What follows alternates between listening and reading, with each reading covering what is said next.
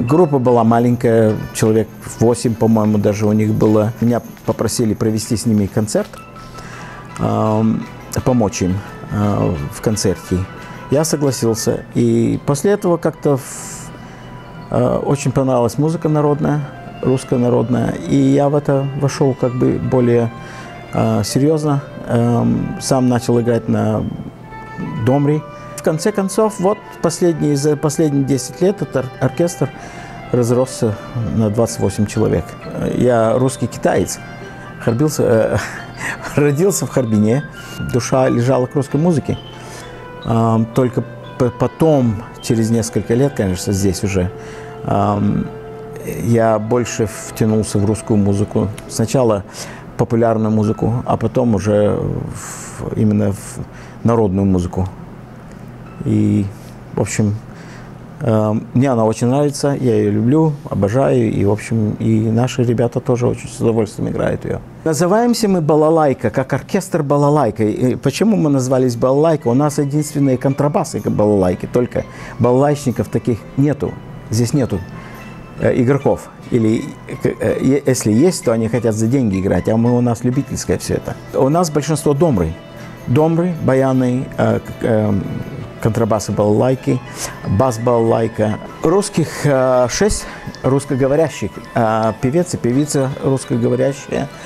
Эм, и э, цимбалистка, она из Белоруссии, дамристка из России. Сейчас пришла новая дамристка к нам, еще одна тоже, тоже из России. Давно уже приехала здесь, живет. Эм, остальные все шотландцы, ирландцы, австралийцы, китайцы, а, кого только нет. Все. А, у нас ансамбль очень дружный. Ребята, когда приходят на, на репетицию, сыгровку, у нас они с удовольствием приходят. И у нас возраст э, от музыкант, у музыкантов от 16, 17 лет до 85, э, по-моему. А, что их влечет? Вот это вот дружество, русская музыка им очень нравится. У нас а, на концерты приходит большинство рус... А, не русскоговорящей публики. Потому что русская музыка есть русская музыка. За душу берет. Любого.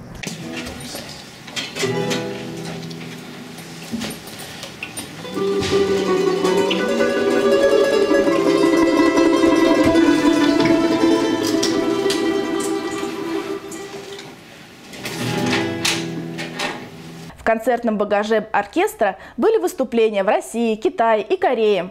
Недавно балалайка вернулась с успешных гастролей в Новой Зеландии.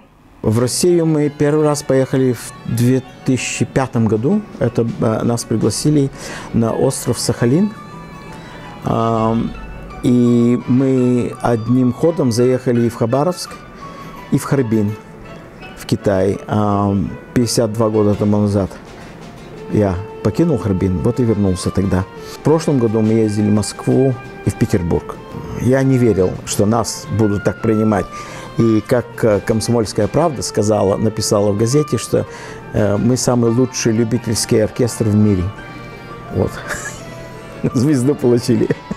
Э, в России, конечно, они жаждут уже сейчас такой музыкой, потому что все же пошло на поп, да, этот модерная музыка, все и э, как-то забросили, видно, что ли, или интереса не было. А наш президент, например, он учитель э, музыки в школе, и вот в этой школе он преподает музыку.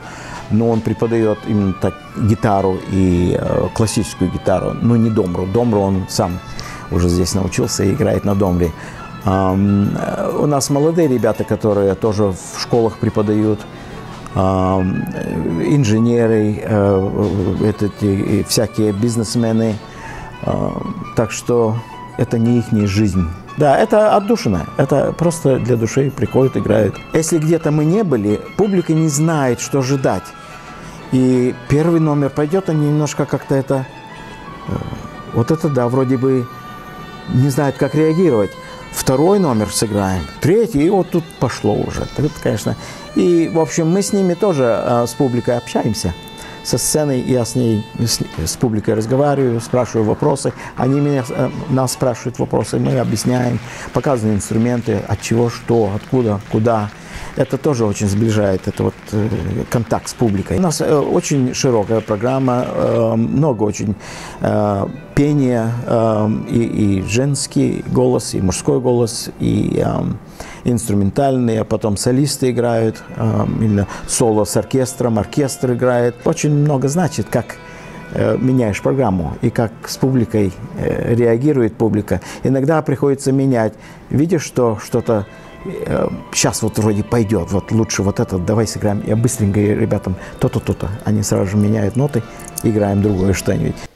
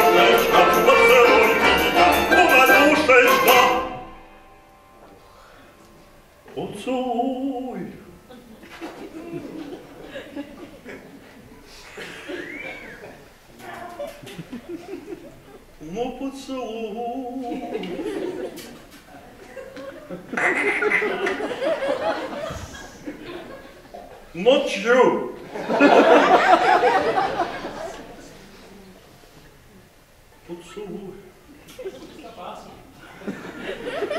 Кома тоже.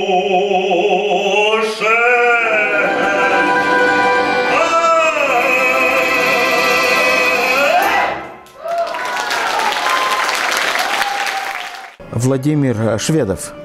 А, И он с нами начал только вот в начале этого года петь. Очень хороший сейчас появился у него голос. Эм, Очень открылся. Хороший э, бари- тенор-баритон. И а, он, ну, какие вещи он поет? На- например, ну, «Живет моя отрада», там, э, э, «Смуглянка-молдаванка», э, такие э, «Вдоль по, Питерской», э, «Дорогой длинную», «Метелица», вот такие вещи. Потому что они э, более нравятся публике, э, они живые, они и, и грустные есть.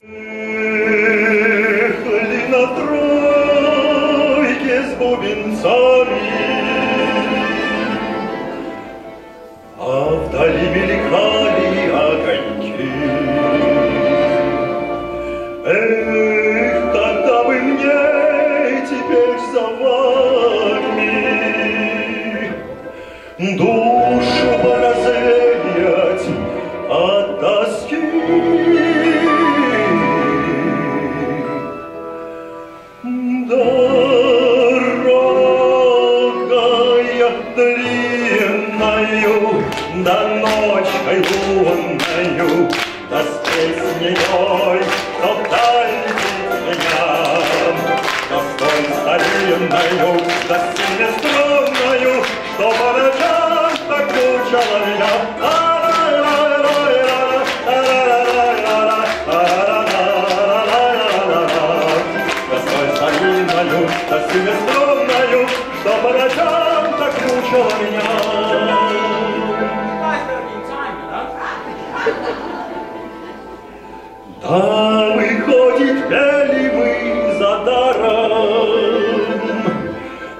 Напрасну ночь за ночью жгли. Коли распрощались мы со старым, То и эти ночи отошли.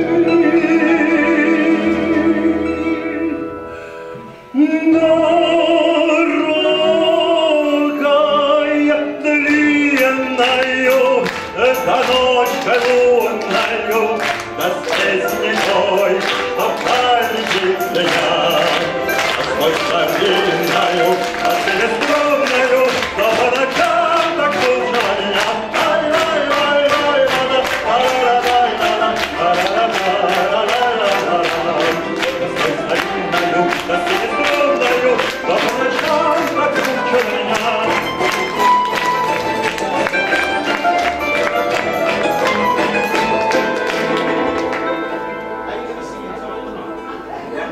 I'll most certainly try as long as you all do as well.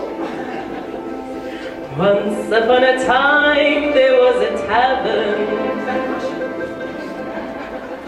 where we used to raise a glass or two.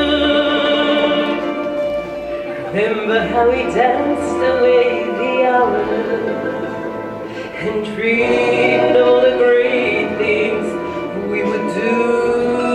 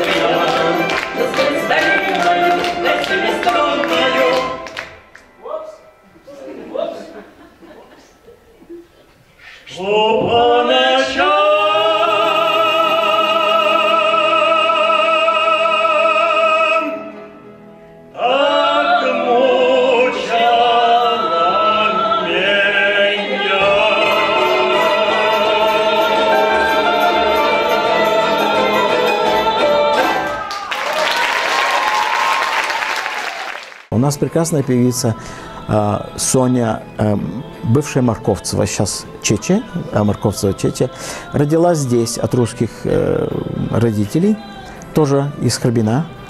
Она прекрасно исполняет русские э, романсы. Ее многие вот в Москве, когда были в Петербурге, говорили, это, это вторая Зыкина. А, молодая, у нее прекрасный голос, и она очень хорошо передает такая э, Волга, река Волга, вот э, вещи такие, очень э, Оренбургский платок, э, бубенцы, вот, вот такие вещи, понимаете, так что и, и э, как бы сказать, и медленные вещи, и очень такие бравурные вещи, это тоже очень хорошо. Она уже с нами много лет, и эм, прекрасный голос, прекрасный.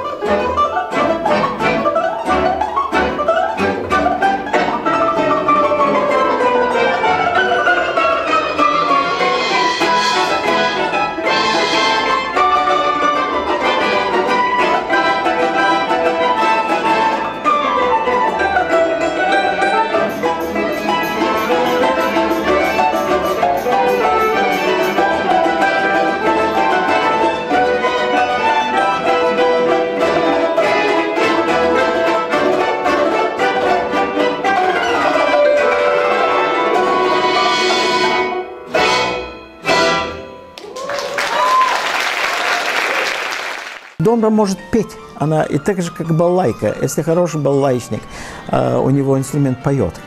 А, также и домра прекраснейше может э, у нас солистка прекрасно исполняет. И домра она, у ней именно как поет. Так что э, и также может э, бравурный такой дать звук, именно поднимающийся такой звук, что э, и потом альтушки. В общем, домра прима, альтушки, тенор, там бас э, домра. Это разный звук. А их вместе, э, с- вместе посадить и играть. Это такая, такое прекрасное созвучие, что замечательно звучит. И также и баяны. Как же без баяна? Русский оркестр без баянов. Тоже прекрасное.